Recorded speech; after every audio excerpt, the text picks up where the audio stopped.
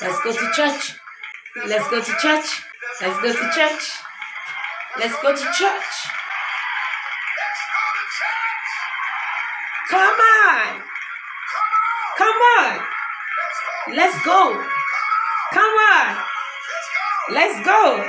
Let's go to church. Let's praise the Lord. Let's give the song. One accord. Let's fellowship in the company of the saints. Let's be the one. Him have his way.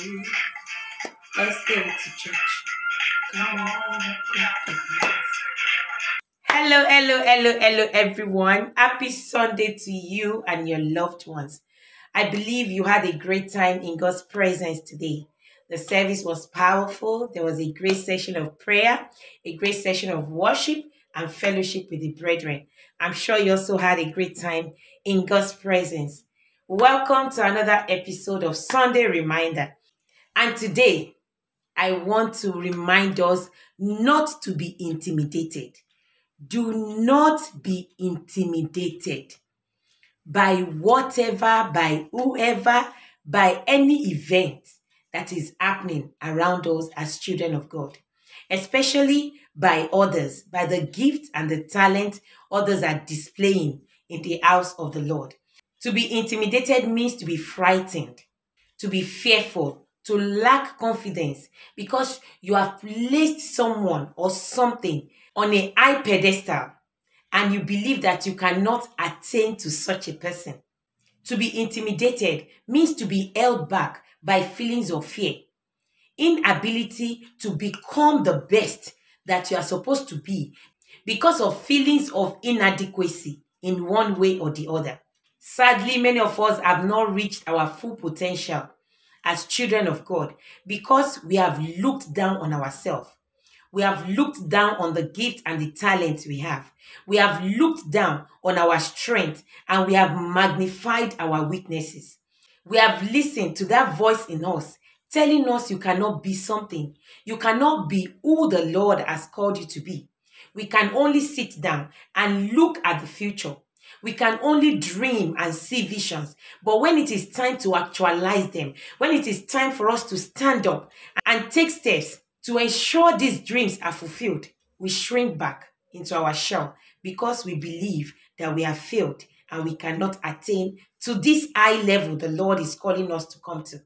Many of us are always looking at other people and say, Oh, I cannot do it like sister this. I cannot do it like brother that. I cannot do it like pastor that. And because I cannot do that, it means I am not good enough.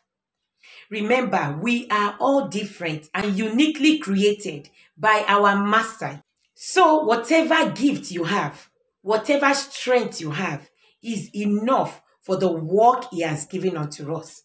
We should stop writing ourselves off because the Lord has not written us off. We should celebrate the gift and talent of others. We should celebrate the grace of God upon others. You know, it is very, very important for us to do that. But don't do it to the point that you make that brother or that sister yardstick for your own performance or for your own shining. Some of us believe if I cannot sing like this person, I am not good enough. And many of us are killing ourselves. When I was growing up, there were so many worship leaders with their unique voices, with their unique talent. We had Don Moen, we had Darlene Zschech, we had Ron Kenoly, we had um, W. Smith, and many people like that. And when you listen to their music, you can see that it is always different.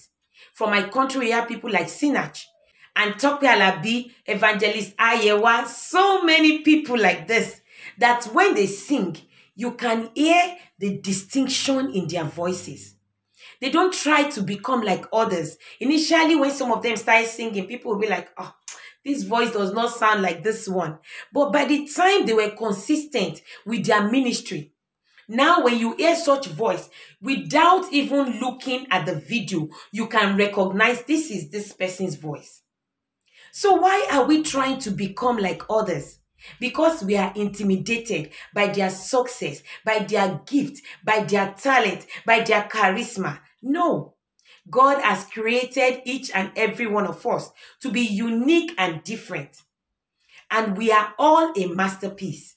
So we should not minimize the grace and the calling of the Lord upon our life because we are trying to become like others. You can only become their copy. You cannot become the original when you're trying to become like others. I pray the Lord will help us in Jesus' name. Amen. In our quest to be the best, you can go for trainings, you can improve your skills and mentorship programs, but never ever become someone else's copy because you are intimidated by them. Do not become it because then even God Himself will not recognize you again. You have diluted yourself. You have changed from who He has called you to be to become who He has not called us to be. May the Lord help us in Jesus' name. No one should be our yardstick to the point that we neglect following Jesus Christ, our Lord and Master.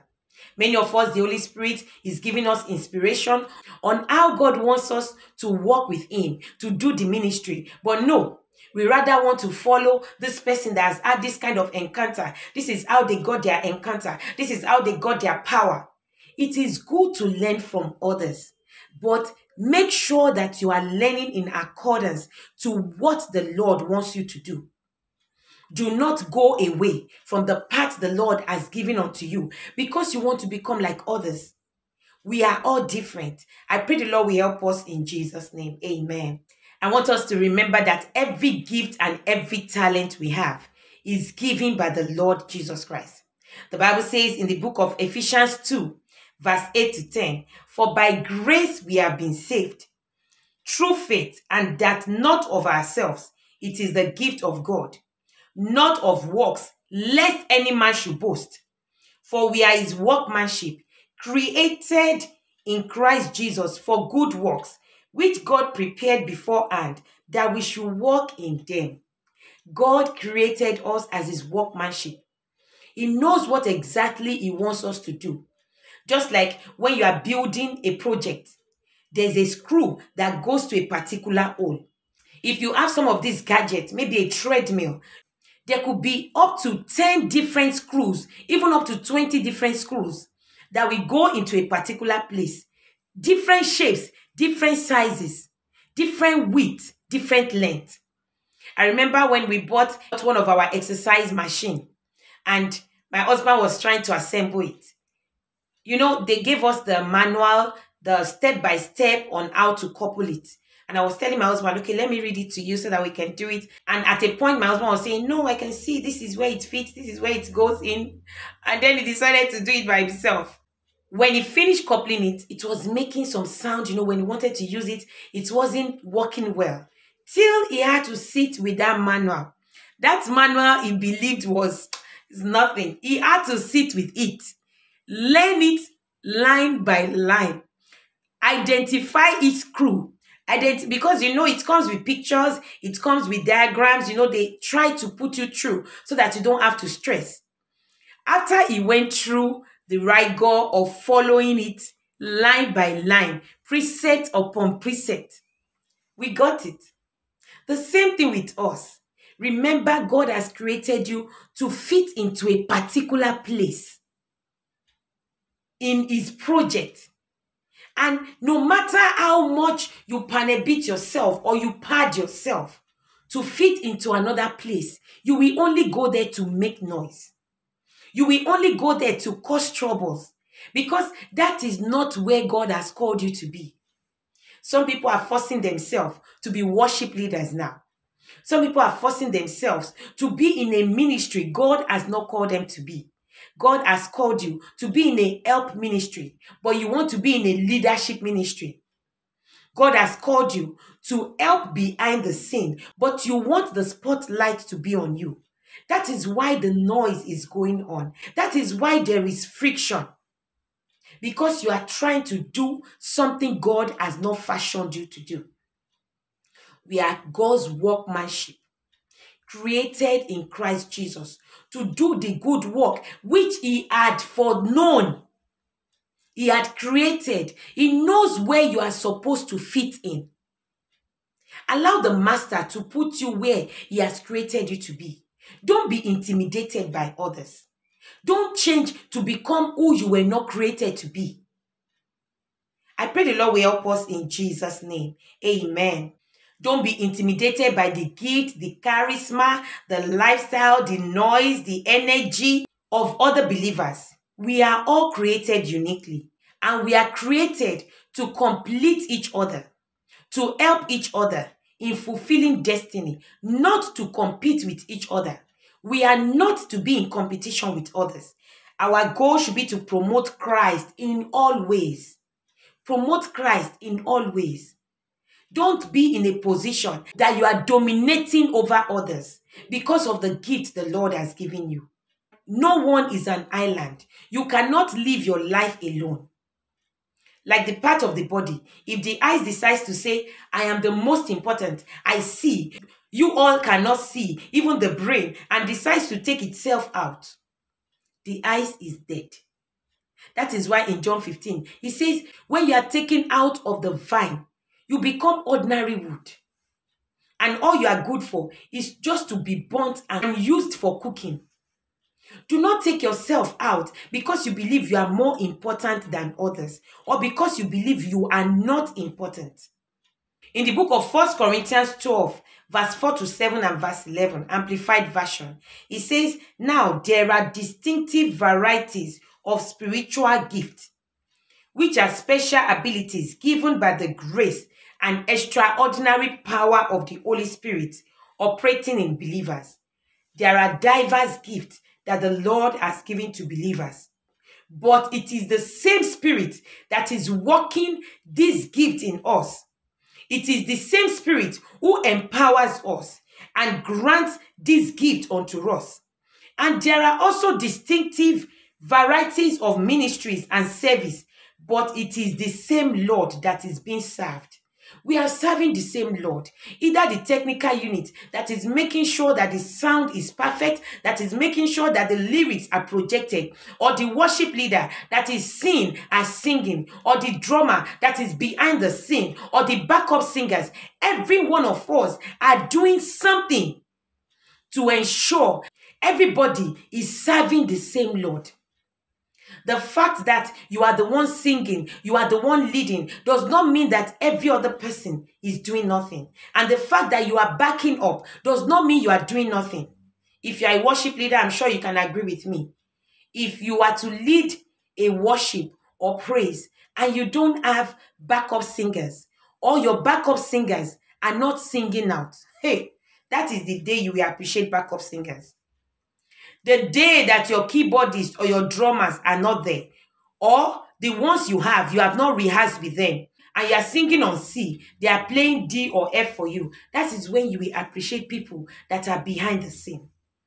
The day you are trying to sing and your microphone is not working, hmm, or the lyrics is not projected and you mistakenly forgot the lyrics, that is the day you will appreciate all those people that we believe their job is not as important as the teacher, as the pastor, as the worship leader, or whatever it is that we are doing in the house of the Lord. Do not be intimidated by the gift and talent of others, and don't intimidate others by your gift and your talent. I pray the Lord will help us in Jesus' name.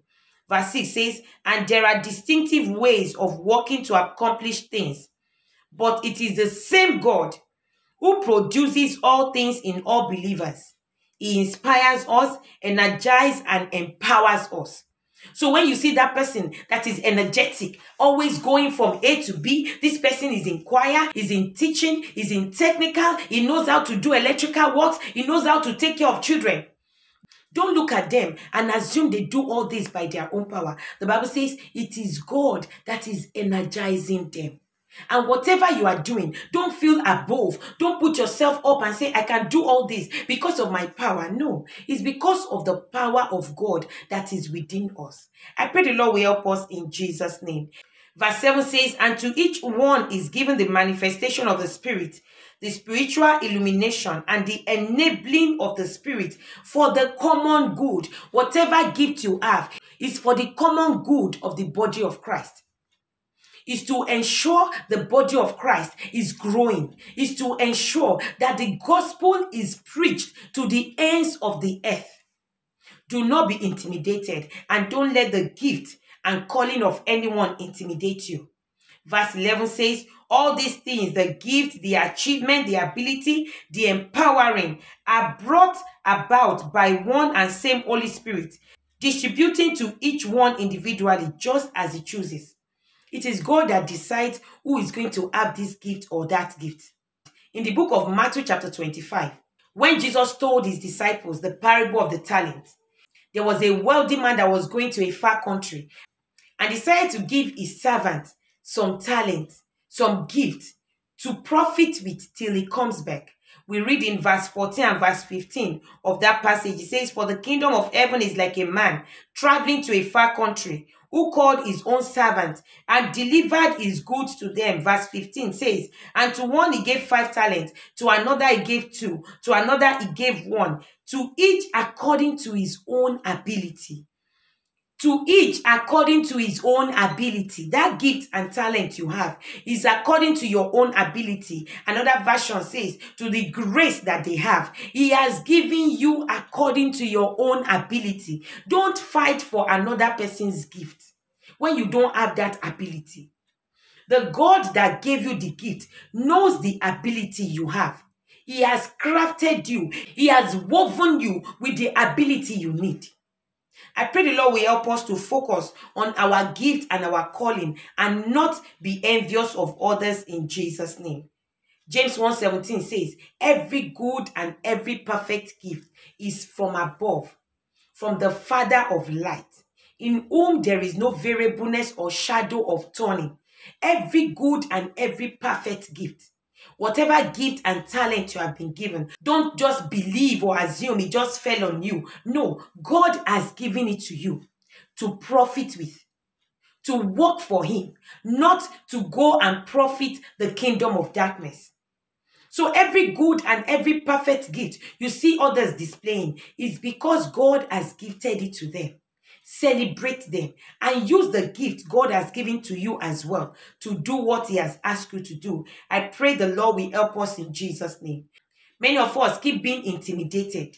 And like that man with one talent, we have buried our talent because we keep looking at the five talents of others, at the two talents of others, and then we look at our own talent and we become sad. Ah, How can God give me just this one talent?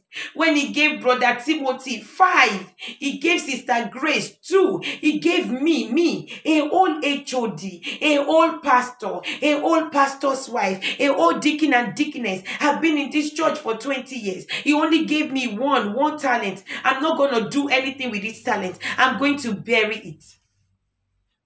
And he did not profit with this talent. But look at what happened with the man with five talents. The Bible said he profited with it. He gained five more, making 10. And when God was going to collect that one talent, he gave it to the person that had a lot already. Because he has shown by his own actions that truly I have the ability to multiply the gift given to me. Many of us, that's one gift that God has given unto us. All we can do is to grumble and murmur. We have not worked on that gift for one single season. And we keep complaining. God has not given me more. God is not a waster. If you keep being intimidated by the gift of others, you will not work with your own gift. That gift you have buried, sister and brothers, go and take it. It's time to use that gift. You keep complaining, I don't have the gift. That one gift God has given you, even if it is to talk, if it is to organize, if it's to take care of the children, first start using it and see if God will not give you the ability to manage more. Our God is not a waster. I pray the Lord will help us in Jesus' name.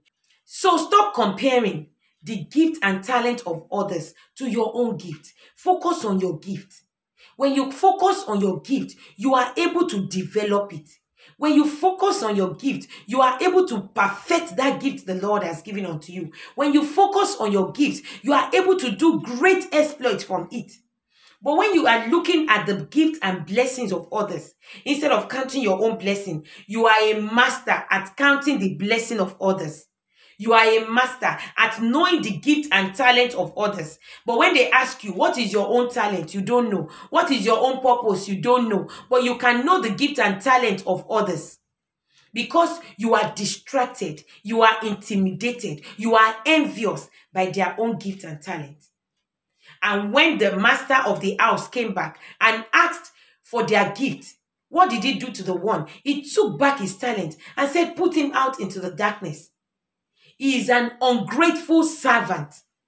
I hope that kind of word, I hope that kind of judgment will not be our portion also. Where is your gift and the talent the Lord has given unto you? You have hidden it because you see others displaying theirs and you feel mine will not make any difference. It is not in comparison with others. Whatever God has given you, it is for you. The Bible says, when we compare ourselves with others, we are fools. We are not wise. We see that in the book of Second Corinthians chapter 10 verse 12. For we dare not class ourselves or compare ourselves with those who commend themselves. By comparing themselves with themselves, they are fools, they are not wise. I pray that will not be our portion in Jesus' name. Many of us are comparing our own morning with another person's afternoon and evening. When did you start your ministry? Two years ago. Now you're comparing the success of your ministry with someone that started their ministry 30 years ago. Some people did not start their ministry from the scratch. They started where their parents left off from but you're still comparing your own with those set of people. When did you give your life to Jesus? When did you become serious with your spiritual journey with Christ? And you are comparing yourself with people that started their journey from childhood. And that is why you keep getting discouraged. That is why you keep getting sad. That is why you have not done exploit because you are taking more time to compare your life with others instead of walking in the path the Lord has ordained for us. This Sunday, don't forget, don't be intimidated and do not intimidate others. Rather, focus on your journey. I pray the Lord will help us in Jesus' name. Some of us are in the middle, some are already in the latter part of their journey. And you are just starting your journey. Do not be intimidated by their success. Rather, learn from their success. Learn from their mistakes so that it can make you a better person as you go forward. Accept wherever you are right now. Grow in the process. Gain experience and wisdom in your journey. I'll say that again. Accept wherever you are now in your journey in the Lord, in your ministry. Accept it. But don't stay there. Grow in the process. Gain experience and wisdom in your journey. And very, very important, be content with what you have. The Bible says in 1 Timothy 6, verse 6, but godliness with contentment is great gain. Be contented with what the Lord has given you. Don't try to pull what God has not given you. Don't try to be who the Lord has not called you to be. Hmm. Don't try to copy others. You can only become a copy when the Lord has ordained you to be a masterpiece. God has given you a beautiful voice. Now you are trying to make the voice to be what the Lord has not given you. God has given you inspirations on how to teach, inspirations on how to organize, but you don't want to be like that. You want to be in the front of the camera to fuel our lust. I pray the Lord will help us in Jesus' name. Let us remember when you are intimidated by someone's gift and talent, you are also likely to want to intimidate others that you believe are not as good or as talented as you.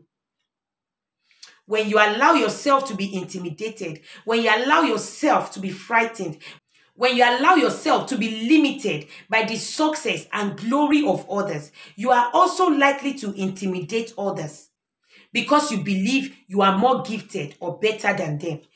And this can lead to pride and self glorification. Let us watch ourselves. Let us not allow pride and self glorification to grow in us because that is how the devil lost his place in heaven. We will not lose our place in divine agenda in Jesus' name. Amen. Also, when we allow ourselves to be intimidated or we intimidate others, we give room for ingratitude because we will not appreciate what we have.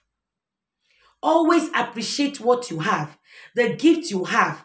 Even if it is the days of little beginning, keep at it. The Bible says, Do not despise the days of little beginning, because at the end it shall be great. The vision might just be a little now. Keep at it, keep working at it. Your gift might still be rustic and raw. It doesn't mean that it's not going to bring forth glory at the end. When you see a raw material, all it needs is process. All it needs is to go through the right channel for it to come out as a diamond or as gold. So do not run away from the process the Lord wants to put you through. Follow the process. Don't be in a hurry. Don't run ahead of God, and you will come out shining as the star the Lord has created you to be in Jesus' name. Also, when you allow yourself to be intimidated, you will not be fruitful. This is a cause of fruitlessness as a child of God. When you allow yourself to be intimidated or you are intimidating others with your gift, it leads to fruitlessness. You are busy counting the blessings of others while you are bearing your own blessing. Look at that brother. He has five blessings. Look at that brother. He has 10 blessings. Look at that sister. She has eight blessings. And I only have one. I will rather bury myself. I will rather lift this gift. And then you go and steal the gift of others.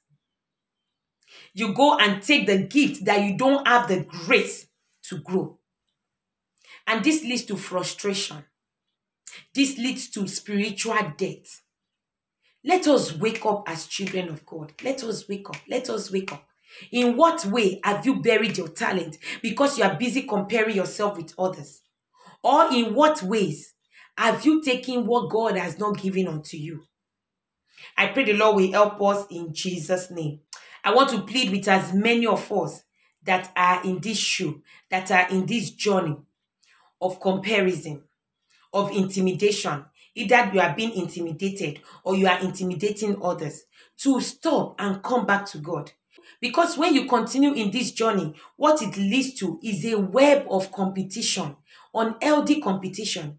We have seen unhealthy competition in the body of Christ, in which a minister, a pastor, a leader will be bad mouthing others, or will even go as far as employing demonic manipulation to bring others down. Ha! Why? If the goal is heaven, if the goal is soul winning, why should we try to bring down our brothers and sisters that are also working towards the same goal? Why should we bring them down?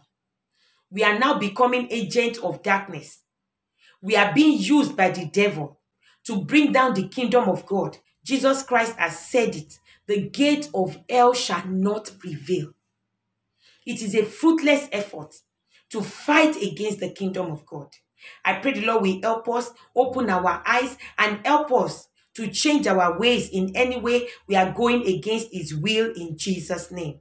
Stop empowering the gate of hell. Stop walking against the body of Christ. Do not allow intimidation to make you a weakling.